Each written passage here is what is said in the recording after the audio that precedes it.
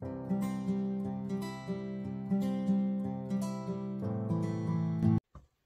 guys, it's September 30th, and that means October starts tomorrow.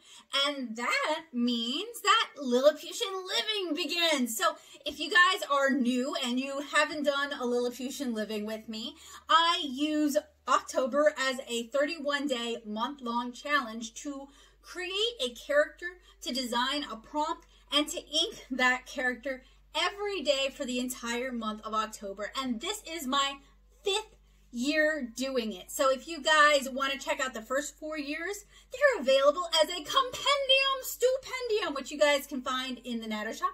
Or you can check out the first four years on Instagram using the Lilliputian Living hashtag. So I don't actually have enough internet access to post things to Instagram right now. I am currently evacuated, but I will be sharing them daily, at least trying to share them daily on Twitter and on my YouTube community tab. So if you guys enjoy tiny people, if you guys enjoy art and illustration, if you enjoy daily world building and character design, I hope you guys will check out all 31 of the illustrations I'm going to create this month. And this year, the challenge is even greater. Every year life throws, every year I've done the Lilliputian Living, life throws some like weird hiccup at me. This year, it threw Ida. So it's to be really hard to do this, like no lie, because we have to drive 30 minutes just to find internet right now. I've never done a Lilliputian living without having internet access because I rely heavily on it to, you, you know, look up like how to how to draw certain flowers. Like that was year three of Lilliputian living, or how to draw the sort of clothes Lilliputians would wear, which is heavily inspired by like pioneer living, so or even colonial living. But there's also some modern fashion thrown in as well. So, you know, I rely heavily on Townsend's and Pinterest and Google for that, which I'm not going to have access to this year, or I'm going to have to plan way in advance. So, uh, this year's theme is going to be daily life. So year one was different jobs, occupations, and trades. Year two was kind of a mishmash of like general world building stuff like pets, um, like families, like different types of Lilliputians. Year three was an herbal, the different kind of plants they utilize. Year four was how they repurpose human things. And now this year we're exploring daily life. So it's going to be a variety of just kind of Lilliputian living things like foods, the types of houses, what types of household chores, that kind of thing. So um, every year I've kind of got, hit a routine now for how I like to do this. Every year, I buy myself a brand new Strathmore visual journal, the mixed media kind. So this is the like series five. It's got the cotton rag vellum finish paper. Uh, most years, I like to do my underdrawing with a pink color, you know, or a blue color, know. This year, uh, kind of because I don't have internet access, so if I run out, I can't reorder any. I am using a 0.5 mechanical pencil with Pentel red lead in it because I can get that at Walmart. I am going to, I prepared the other things in advance. I have a extra fine and a medium pigment Pentel brush pen for filling in spot blacks. I have several Sakura Pigma FB. Why did I do that? Several Sakura Pigma FB brush pins for the fine lines. I've got a variety, I don't know why I have that in there, a variety of erasers and I've got some refill leads. And I've also got some post-it notes so I can do thumbnail sketches. And the way I usually do Lilliputian Living is I do a thumbnail design and a sketch the day before, ink it, and then do the next thumbnail sketch and, you know, well, thumbnail design and sketch for the next day. So I'm always trying to be one step ahead because the don't break the chain method of working works really well for me where I'm always finishing up yesterday's stuff. So that breaks the, that starts, that keeps momentum going, that breaks the inertia. And then starting the next sketch. So I'm just always kind of trying to tumble forward with my momentum. In fact, I already have tomorrow's sketch done. Let me show you guys what I'm going to be inking tomorrow. It's sideways this time. Usually I like to keep it in portrait format, but I mean, a sleeping kitten inspired by Dax, actually literally referenced from Dax. and a toddler Lilliputian are our day one. And I think this would make a good sort of front page introduction illustration for Lilliputian Living Volume 5. Since who doesn't love cats? I love cats. Also, I am frankly exhausted and I wanted to do something that was kind of easy and yet also featured cute cats. So there you go. But uh, tomorrow I'm going to start diving into cooking. So I think I'm going to start with pickled crawfish, which sounds delicious to Kara, but not so delicious to us. So this is my sketch. I'm using the red lead this time. I think I'll still be able to easily drop that red as long as I don't have the contrast up too high for the red itself once I've inked it and scanned it. And the cool thing about Lilliputian Living is it basically uses up this whole, almost this whole sketchbook since I don't draw on both sides of the paper. And it leaves just enough if I need to do some additional spot illustrations to kind of fill out the zine because Lilliputian Living Volume 1 and 2 were released as zines. Volume 3 and 4 were also supposed to be, but they ended up, or maybe I did do, no, I did do 3. So volumes 1 through 3 were released as handmade zines, laid out using Affinity Publisher. And then the Compendium Stupendium, which includes all four years at that point of Lilliputian living, was laid out in InDesign and we printed it through CreateSpace. So uh, I guess technically there's a print version of all of those. And what I'd like to do, just kind of depending on my mood and, you know, how this goes, even though we're on year five, I'm kind of hoping to make it 10 years of Lilliputian living because I'm a really big nerd. That'll give me two volumes.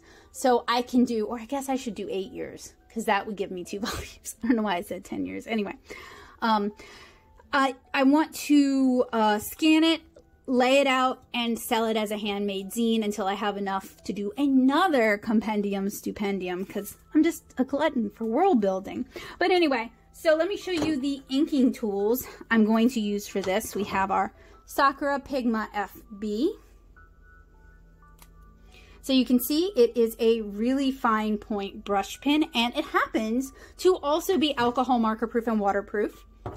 I have my Pentel pigment brush pen and I just happen to really love how these ink and I really love the like quality of the ink. It's got this really rich kind of black. And then we have a medium version of that just for filling in larger areas. So I can't wait to show you guys to ink with you guys. Well, probably not going to ink this with y'all tomorrow because I got a lot to do tomorrow, but I will definitely share the finished inks with you guys tomorrow. And hopefully I can at least make, I'd like to do time-lapse versions or time-lapse segments for a lot of these, but hopefully I can at least show you guys what I did each day. So this is for tomorrow, October 1st, and it's just a nice, sweet little depiction of a Lilliputian child with the kitten that her family is raising. So day one is one of my only sideways Lilliputian living sketches. It is a toddler sleeping with the family kitten. I used Dax's reference for this. This is this was completed when we still were staying at my mom's house. We still didn't have internet. And I gotta tell you guys, doing a month-long drawing challenge without being able to reference things is so oh, not, not my favorite challenge. So basically what I would do is I would create a thumbnail of what I wanted my illustration to look like. And then while we were out and about during the day, day and I could get a little bit of internet, I would start Googling all the things that I thought I would need to draw. And then hopefully by the time I got home, I would have enough reference to be able to complete them. So it was definitely not the way I would normally do Lilliputian living. Let's call it hard mode. So this is day two. We're talking about foods here. So this year's theme, every year I have a different theme. This is the fifth year. This year's theme was just kind of everyday life. So I wanted to depict some of the aspects of Lilliputian living that never really got covered in volumes one through four. So this is pickled crawfish.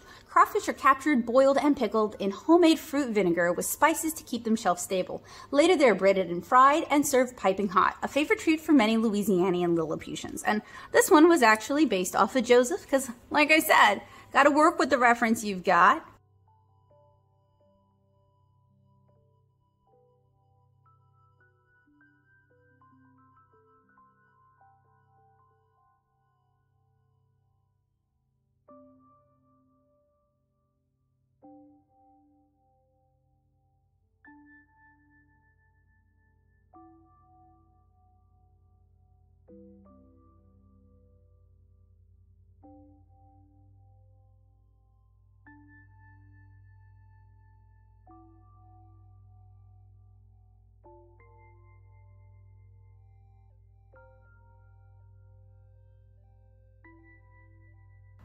Here is day three, dandelion salad and fritters. And I watch a lot of survival YouTube. I watch a lot of cooking YouTube. So I bring, and I've always been interested in living off the land and kind of survival eating. So I bring a lot of that into how I develop the Lilliputian world and how I write seven inch Kara. Cause that's been an interest I've had since I was a really little kid reading My Side of the Mountain and Hatchet and dreaming of the day I could go live out in the woods and live off the land. As an adult, I don't think that's nearly as feasible as I did when I was a kid, but it's something I'm still really interested in. So there's the dandelion salad. You can eat the leaves, you can eat the heads, or you can bread and fry the flowers to make these fritters. And I think Atomic Shrimp actually demonstrates that. And this one was based off of me working with the reference that I have.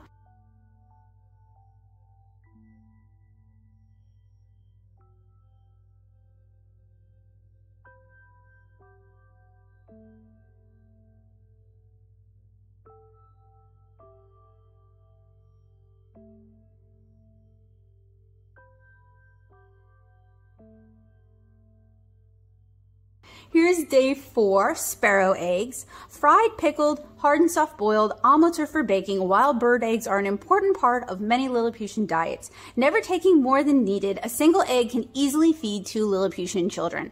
And one of my friends from afar volunteered to be day four, so I drew her and I drew her cat.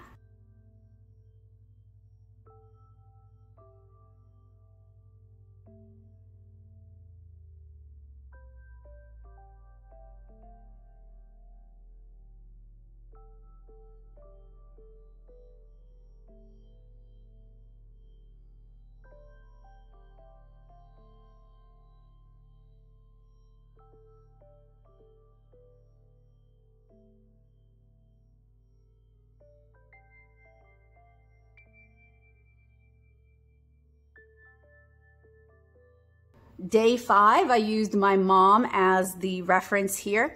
And this is blueberries and blueberry cobbler.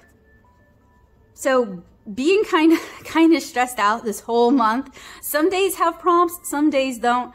As I cobbled this together into Lilliputian Living Volume 5's zine, I'm going to make sure all of them have fleshed out prompts.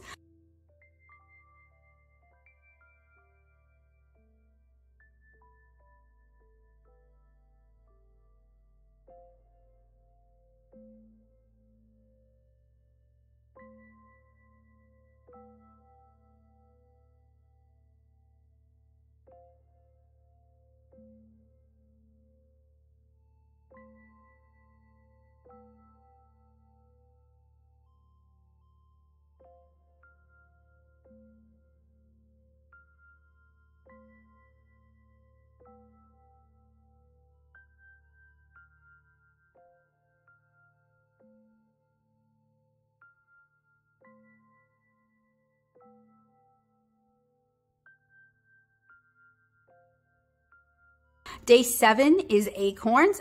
This might look recognizable to you. These, this is little baby Kara, her father Rowan, and her mother Meldina way back when Kara was just a wee baby.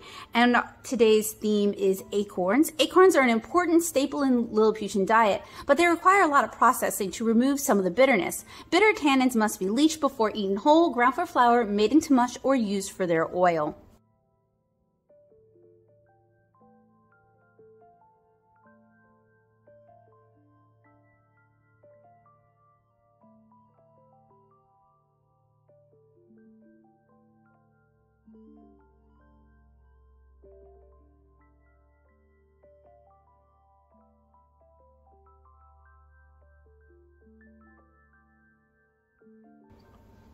And here's day eight sketch, minnows.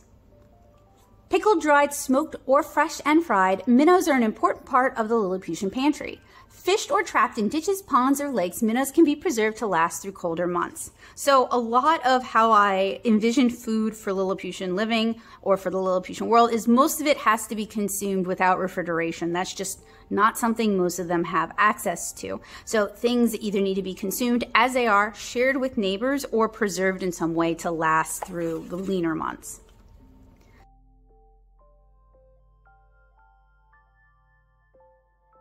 Day nine is strawberries. Fresh jammed dried strawberries are a tasty treat that, if preserved, can be enjoyed year round.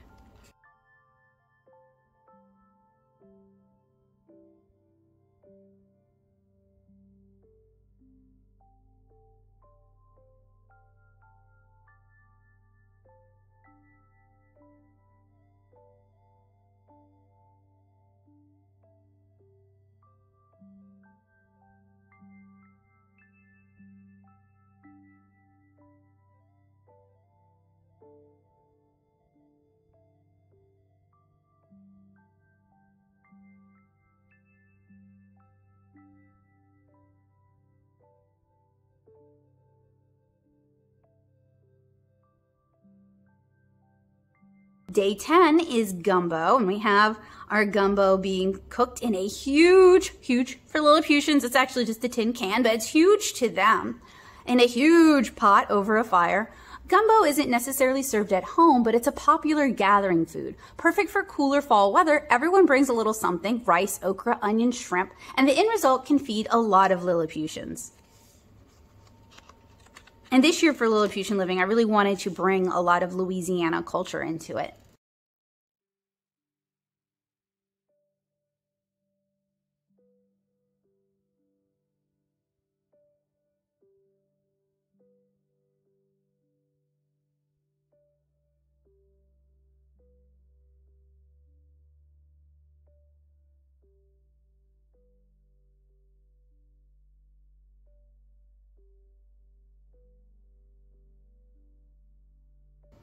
So now we're starting on chores. Day 11, daily chores, gathering firewood.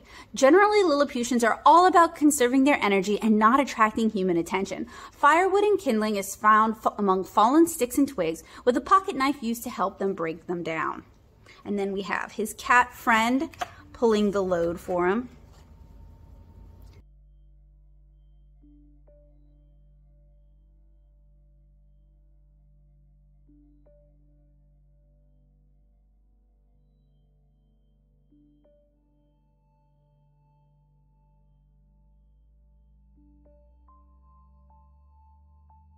Day 11 Foraging. Most Lilliputians are able to forage their daily needs, and young villager and traditionalist Lilliputians learn to identify edible from poisonous at an early age. While fall is a great time to forage, spring and summer have plenty of bounty, and they're collecting mush, uh, acorns here. And I also wanted to not kind of repeat too many topics from prior Lilliputian livings. So we have the mushroom hunters in the first volume. So you might, guys might see a lot of acorn stuff in this one. It's me trying to make sure that I keep the topics more diverse so that they don't fall in too much with, you know, past Lilliputian livings.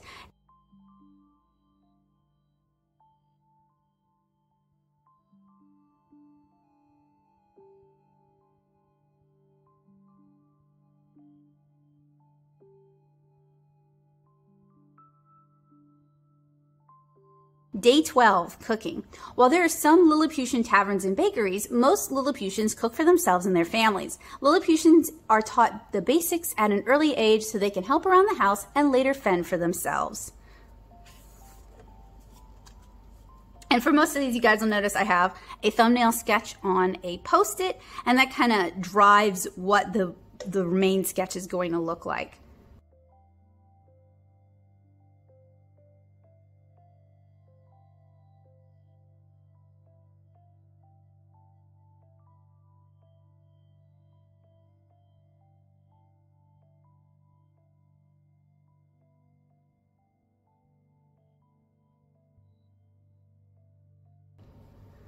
Day 13, walking the mouse. Pet mice get bored staying inside the house all day and enjoy walks and romps through the grass. Be careful, an overenthusiastic mouse might slip its collar and get away. And then here's some of the things needed for mouse care. So we've got some seeds, we've got corn, we've got blackberries, we've got the food and water bowls, we've got the brushes to take care of the mouse.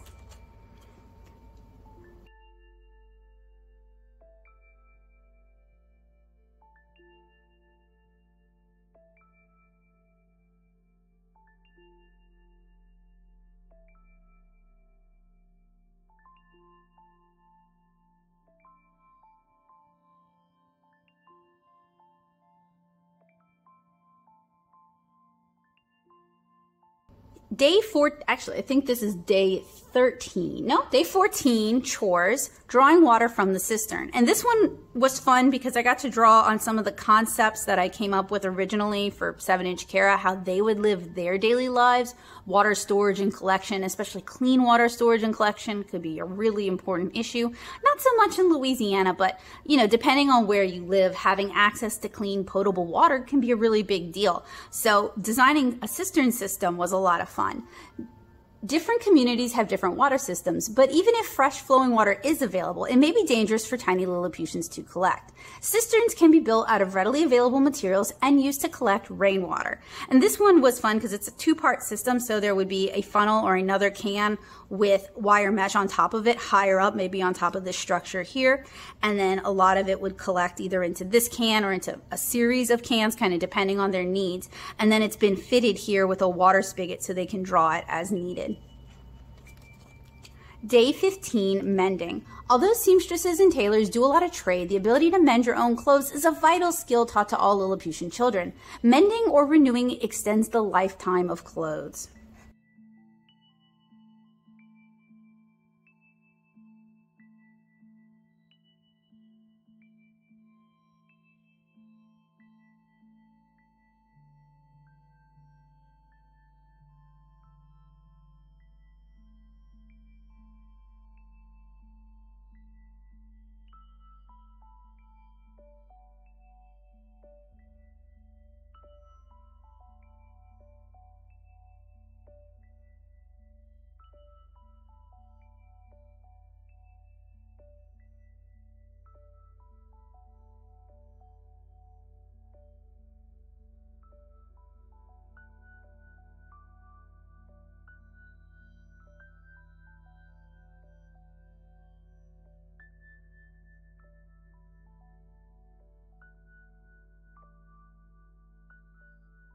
Day 16, preserving and canning. While refrigeration and cold storage for Lilliputians isn't completely unheard of, it's uncommon. So to put food by for leaner months, most Lilliputian adults practice canning, drying, pickling, and jamming perishable foods.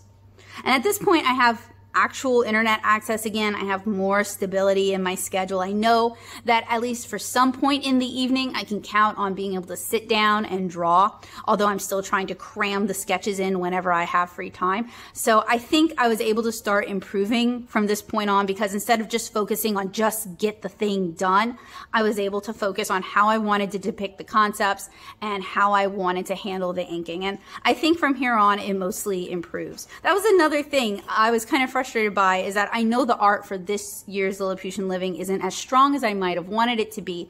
But considering I was, I had kind of an uphill struggle just to get any of the prompts done, I'm really proud that I managed to finish all 31 days.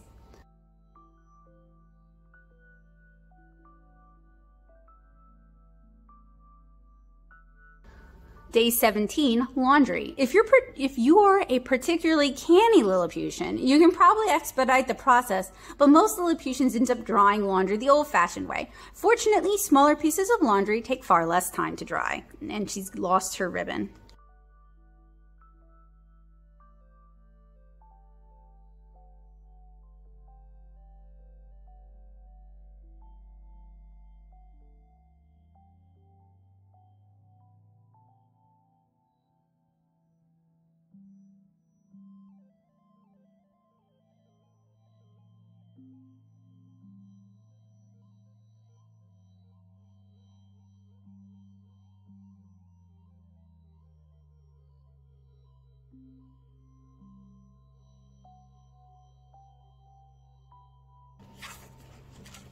This is one I really, really like. This is one where I also had internet access. So it, it, the theme is shopping. I don't have a prompt for this one written yet, but it's based on a farmer's market stall. And I was able to draw all of the, the foods and the seedlings that Lilliputians might commonly eat and have a sunflower kind of casting shade like a giant umbrella. So we've got kumquats, we've got lima beans, we've got sprouts, we've got blueberries, blackberries, strawberries, cherry tomatoes, jalapenos, sweet peas, sunflower seeds, baby onions, black-eyed peas, baby spinach. Over here we've got green peas, pea, green peas or radish. He's got bread and cheese in his basket, and then we have some more sprouts for them to plant and possibly start their own garden.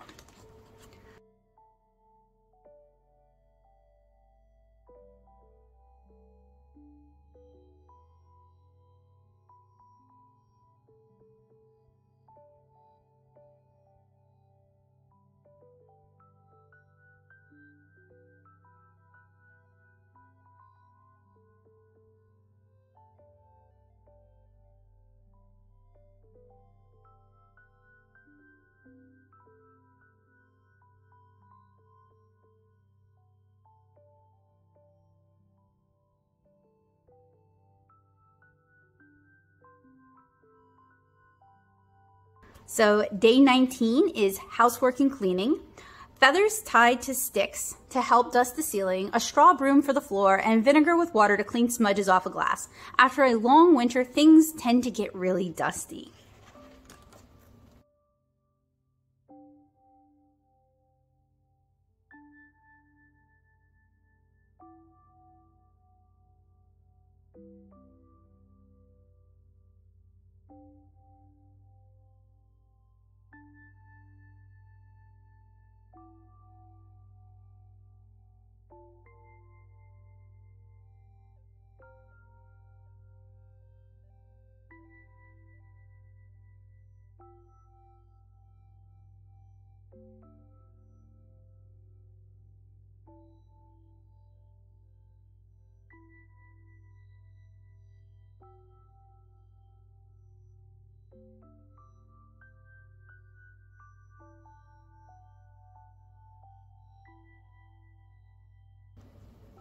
And day 20, house maintenance. Even if you live in the trunk of an oak tree, there's still regular maintenance that goes into a Lilliputian home. And he's attempting, not doing so well, to paint his front door. And this one was a fun one for me because I get to draw art supplies, which I love drawing art supplies.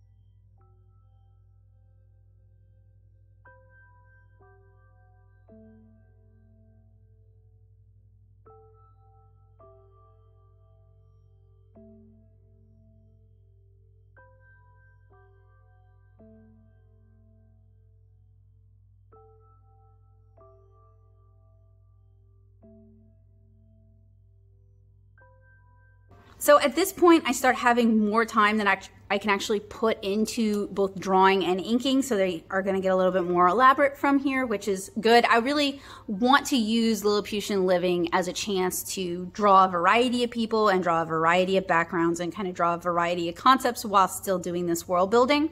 So being able to kind of stretch and spend more time into it is nice. It's a nice thing to be able to do. Some artists can devote the whole day to their Inktobers or their Artobers or, you know, their October drawing challenges. There's been years where that was something, a luxury I had. Uh, but many artists have very minimal time that they can put into this. And that kind of makes it an added challenge because you're, you're really trying to shoehorn it in there. And I found that it took about 30 minutes for me to do the sketch and then 45 minutes to an hour and a half for me to do the inking itself, which is not a huge amount of time, but you know, you do need to be able to concentrate. You do need to have a steady hand while you're inking. You know, there's certain things that you need to kind of create a space and an environment where you can actually do the work. And if you're working from, you know, a variety of migration scenarios, or if you're bringing your sketchbook with you in the car or while you're attending doctor's visits, it definitely ups the challenge level. So um, it definitely made me appreciate what many of my students and younger friends who are, if they're doing this challenge this year, you know, they're bringing it with them to school, they're bringing it with them as they ride in the car, they're spending whatever free time they can to put into this. It definitely makes me appreciate where they're coming from, especially the people who worked in full color this year. That's just so impressive to me. So day 21, attending class. While some Lilliputian children are homeschooled or schooled at a home in small groups, villager children often attend attend ugh, often attend school together as a class. All village children of school age attend class together, but many schoolrooms have access to secondhand human tech. And village Lilliputians are much more savvy than they seem. So we've got the smartphone and we've got the tablet. I thought that would be kind of a fun inclusion because when I'm doing Lilliputian living, unless I'm drawing like mall Lilliputians, they all tend to look kind of more old fashioned, just kind of hailing back to when people were creating their own patterns and sewing their own clothing and kind of scavenging what they could to make clothing out of. So it's kind of fun for me to mix in modern tech in there too, as just like a reminder, like you're not looking at Little House on the Prairie, you're looking at tiny people existing in the modern world. Day 22, dropping off packages with a messenger. While many messengers do door-to-door service and packages and letters may be exchanged then, many messengers set up in the village and accept outgoing mail right before a trip to another settlement. And my idea for this one is that the older sister, who is vaguely Bulma inspired, has kind of like convinced her younger brother to drop off a package so she can flirt with the messenger. And then we have his pet weasel here. I don't know why people think weasels aren't cute. They're super cute.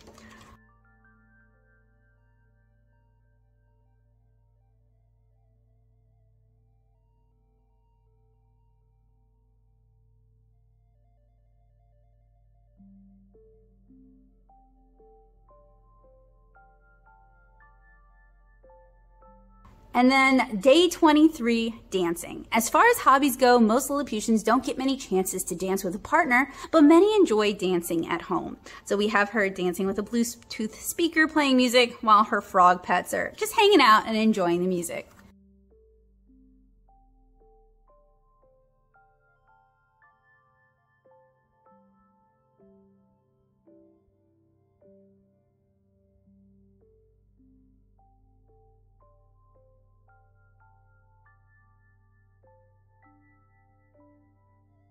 For day 24, we have playing music. In volume one of Lilliputian Living, we have musicians. So those would be professional musicians who go from village to village or settlement to settlement and play music. These would just be people who are enjoying playing music for fun. And I don't know how I drew that harmonica backwards because I played harmonica for seven years. You guys could tell this was inked when I was tired, but that's just an excuse. In the finished version, I'll probably just edit that out so that's not noticeable. So while there are traveling professional musicians who sing and play for trade in their supper, many Lilliputians play for enjoyment. Popular instruments include penny whistle, harmonica, and bell tambourine, although generally not in ensemble.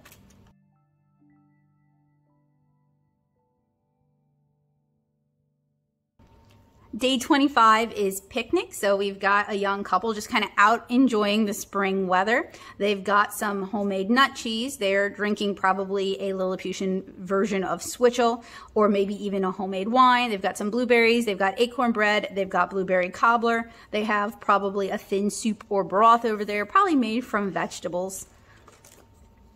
So while doing Lilliputian living, I had these horrible, horrible migraines, which is not surprising. People still have half their houses out on the street getting water damage while we're waiting for, you know, the city to come and pick everything up. So I'm not really surprised that I was having these really bad migraines. Usually though, I would still do my Lilliputian living anyway, but on day 20, 25 or 26, I ended up with a migraine so bad that I just couldn't. I couldn't draw, I couldn't ink. So I took the day off and ended up spending one extra day in November catching up, which isn't really a big deal.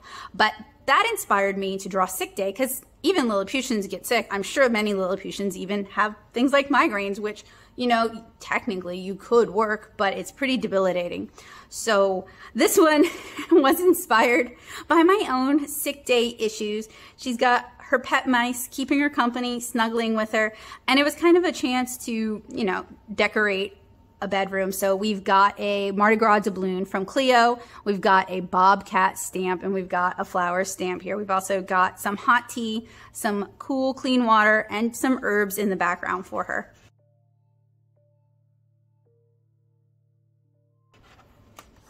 So for for daily life there were so many things that i wanted to cover. And if this month had just been a different month if my life had been a different life during this month i would have extended it an extra 15 days to cover some of their holidays and just more aspects of their daily life. But this year was struggle bus, so that's okay. So for the last part of Lilliputian living, this kind of ended up being my, maybe my favorite part. I started designing, you know, different types of rooms, and I really would have liked to have explored this more and fleshed this out more, but again, 2021 is just not my year. But I discovered I actually really enjoy drawing tiny environments without having to focus on drawing the people in them.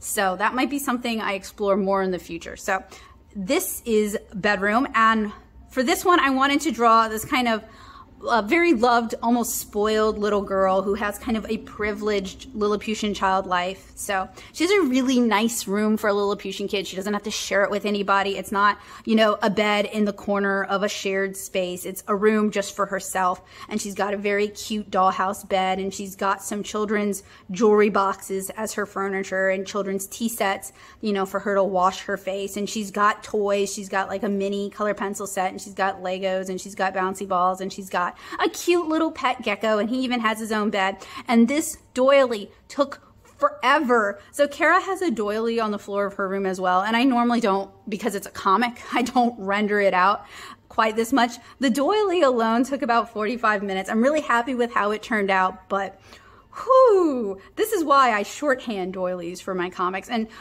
for for Lilliputian Living, when I have the ability to access reference, I usually do pick real world objects and put them into the world so it feels more believable. And I've talked about this in a lot of my watercolor tutorials where even though I have a cartoony style, I really heavily reference things because I want to add those elements of realism.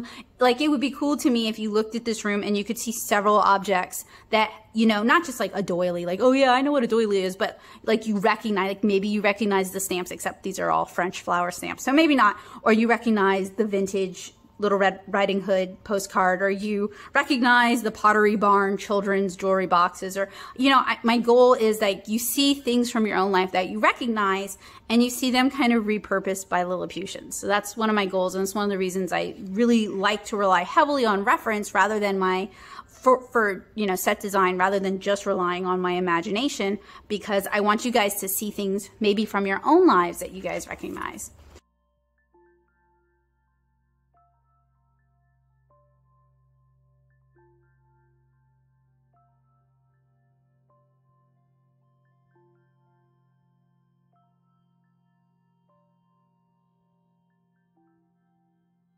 So the next room, or yeah, next room is greenhouse. And this is really cool because something else about Lilliputian living is I get to really tie in all of my weird niche interests that I generally never get to talk about with people. I get to tie them in and kind of use them to flesh out this world. So I can really kind of make my mark on it. And it's one of the reasons I think this challenge is so fun. And it's why I choose to do my own prompt list rather than working from existing prompt lists is because it allows me to share my interests with other people. I come from a family of farmers and gardeners, and I I kill most things I plant, or at least I used to kill most things I planted in Nashville. I seem to be having some better luck now that I'm back in Louisiana. But I do have a lot of interest in gardening and farming and growing food to consume or having not just decorative plants, but plants that produce things that are useful and edible. So Lilliputian Living and 7-Inch Kara are a great opportunity for me to bring that interest in and just kind of have it in the background. So this is a milk carton greenhouse. This is actually something you can do, although most people cut it from the top over and that way they can flop it over. You can also do the same thing with water bottles.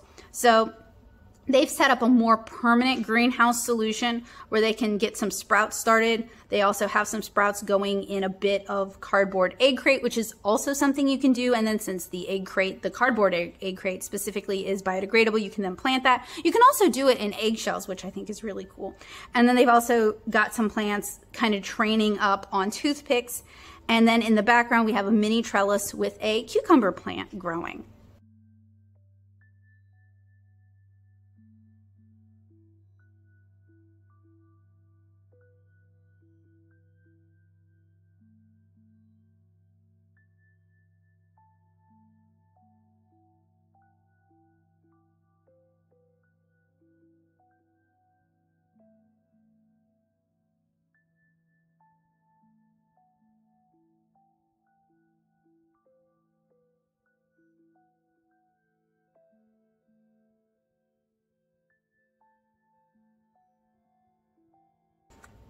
And from the greenhouse to the cellar.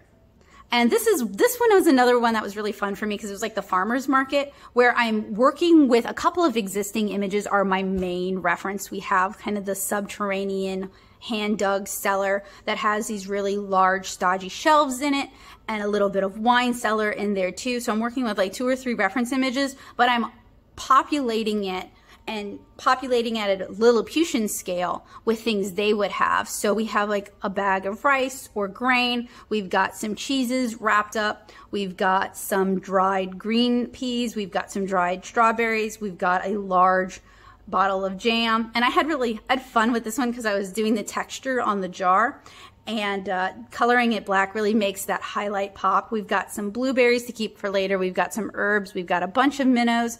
We've got some pearl onions. We've got a bunch of split green peas and yellow peas and then lentils. And then we've got lots of jam up there and carrots and little red potatoes, and then we've got some dried beans at the bottom. And this is kind of where I realized that I really enjoy drawing Lilliputian environments without worrying about having the Lilliputians in them. So refrigeration isn't an option for most Lilliputians. So those who live above sea level, so not Louisiana Lilliputians, make use of cellars for cold or at least cooler storage. And I know if you can get like six feet underground, the ambient temperature year, round is like 60 degrees, which is plenty cool enough for storing a lot of vegetables. Now, are they getting six feet underground?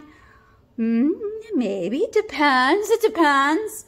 And also some Lilliputians live a subterranean life anyway, kind of like hobbits. So maybe the cellar for them would just be a little bit lower than their regular dwelling. And it might be nestled in among, you know, tree root leaves, which are tree roots, which I tried to depict a little earlier on in this one. So vegetables, fruits, fish, and meat and grains are kept in subterranean cold storage for leaner times. I had so much fun with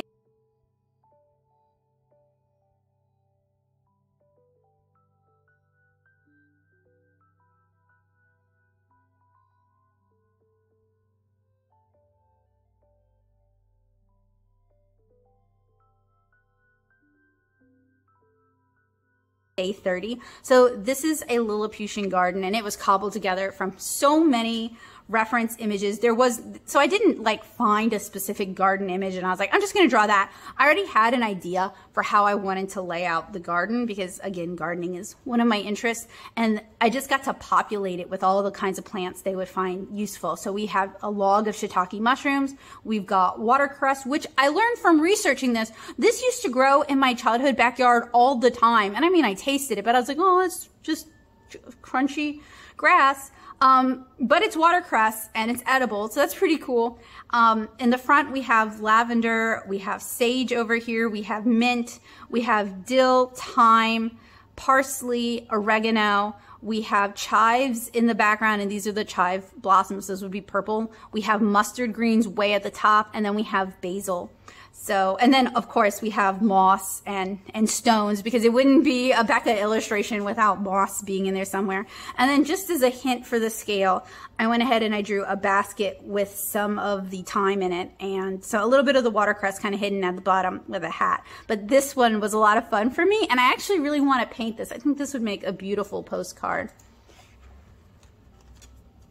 And then finally, for day 31, we have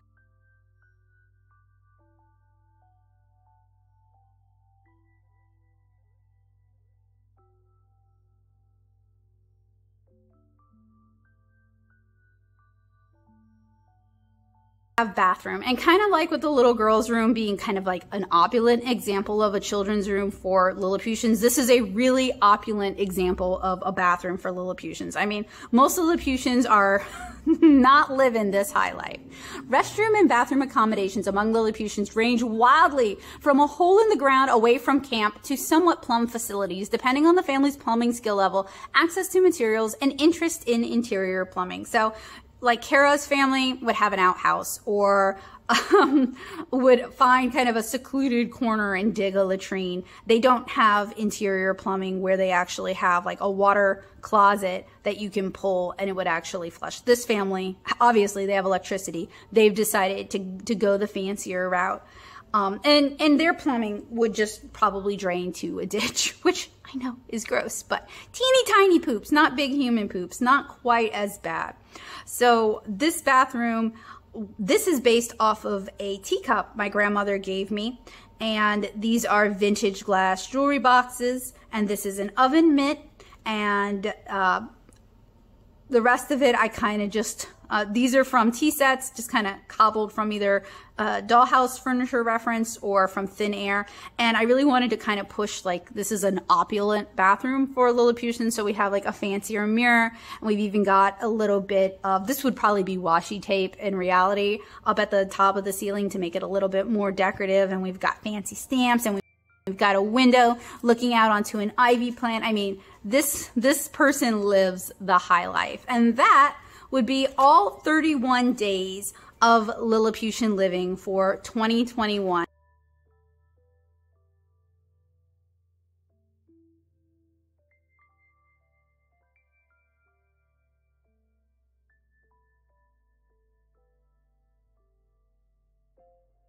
would be all 31 days of Lilliputian living for 2021. I hope y'all had an easier time with your art challenges this month if you decided to do one. Uh, some of these, you know, when I'm when I'm doing this kind of thing, especially this year. This year, I had to remind myself like this is a sketchbook. These are inked sketches because you guys have seen that I have a tendency to print them out and redraw them a little bit and then use them for field tests. So I had to kind of remind myself on the days where I didn't do as good of a job as I'd hoped if I was kind of disappointed in myself because a lot of the earlier ones, the only time I had time to draw and ink them was like 11 o'clock at night, which is not really the best time for me to be starting something. Um, I had to just kind of remind myself that like this one, this one didn't turn out as cute as I'd hoped. It turn, the, the perspective in a lot of these is also kind of funky because I was just kind of cramming it in there when I could. It's like fake two point or one point, but the perspective lines just don't add up and normally they would. So I had to just kind of remind myself that these are sketches and that if they're, oh, this one, this one this one I'm like, because the, the perspective for this one is just all, all wrong, all made up. Um, I to just kind of remind myself that these are ink sketches and that if there's any that I really love, I can print them out, re-ink them, and paint them, and that'll kind of give them, you know, a new lease on life. But I, this was not an easy one. There were some I really enjoyed doing, and then there were some that it was like, I was just trying just trying to get it done for the day. But I'm really proud that I did finish all 31 days this year. It was harder than in past years. And you know, the response this year to Lilliputian Living just wasn't really what I was hoping for. So maybe I'll do it next year. Maybe I won't. I was hoping to get two full print volumes. So speaking of print volumes, volume one through four of Lilliputian Living has been compiled into a single perfect bound book. Some of these are all new, like uh, the back half of the book. So volume three and volume four, they're new. I think volume four, yeah, volume four has never before been in print. So this is the first time it's in print, whereas volume one through three have been available as mini comics and zines. So if you are intrigued by the Lilliputian world, if you want to spend more time in it, or if you just enjoy a bit of cute world building, you guys can find this in the Natto shop and I'll put a link down in the description below. But I was hoping to have, I was hoping to get another four years out of this so that I'd have two volumes, two like compendiums. But uh, after this year, you know, I, I don't know about that. We'll see.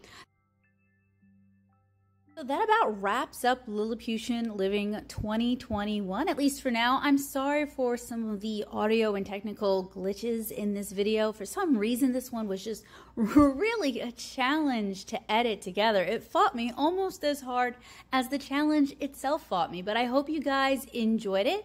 And, you know, let me know if you'd be interested in me continuing Lilliputian Living or if in the future you'd like me to share my prompt list ahead of time and you'd like to draw along with me. So I'm going to have links to where you guys can check out not only the original Lilliputian Living, but this year's Lilliputian Living down in the description below the materials that I used. And let me know in the comments if you guys want to see more Lilliputian living next year. Thank you guys so much for hanging out with me and for watching this. I hope it brought a smile to your face and I hope to see you guys again soon.